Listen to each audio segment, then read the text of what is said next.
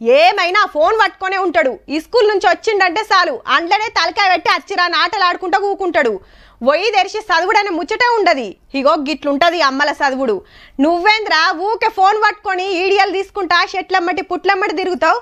చదువుకోపో అని గదిరిస్తుంటారు నాయనలు. ఫోన్ను టైంపాస్కు వీడియోలు చూస్తానికి వీడియోలు చేస్తానికే కాదు కొందరేమో కొత్త కొత్త ముచ్చట్లు తెలుసుకుంటురు ఇంతకు ముచ్చటేందంటే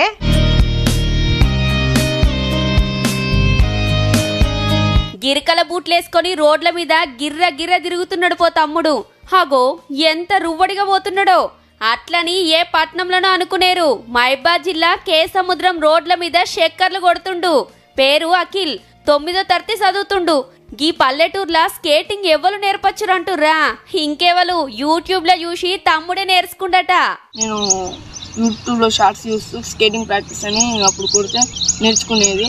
చిన్నప్పటికెళ్ళి మస్తు కాయిషట గిరికల బూట్ల మీద ఉరకాలని మొన్న కరోనా టైంలో నాయనని అడిగితే ఏ గా ఆట మనకెడ వాకైతుంది నాని? వద్దు నీకు కంట్రోల్ చేయరాదు. అడ్డం పడతావని ఎంత చెప్పినా గదే పట్టు మీద ఉండే వరకు చేసేది ఏం లేక కొనిచ్చిండట.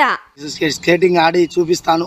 నేను స్కేటింగ్ ఆడతా డాడీ. అంటే స్కేటింగ్ వద్దు డాడీ మనకు. అది మంచిది కాదు అది బ్యాలెన్స్ ఆగదు.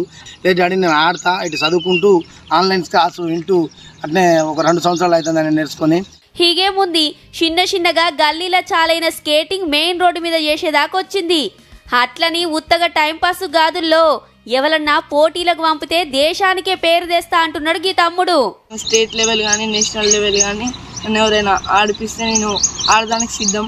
మన ఇండియా పేరు నిలబెడతా.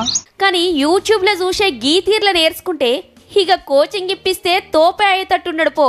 అట్లని మీరు సుత ఇండ్లల్లా ఉపాయం చేశారు పోరులో. ముక్కులు మూతులు వలుగుతాయి సుమా.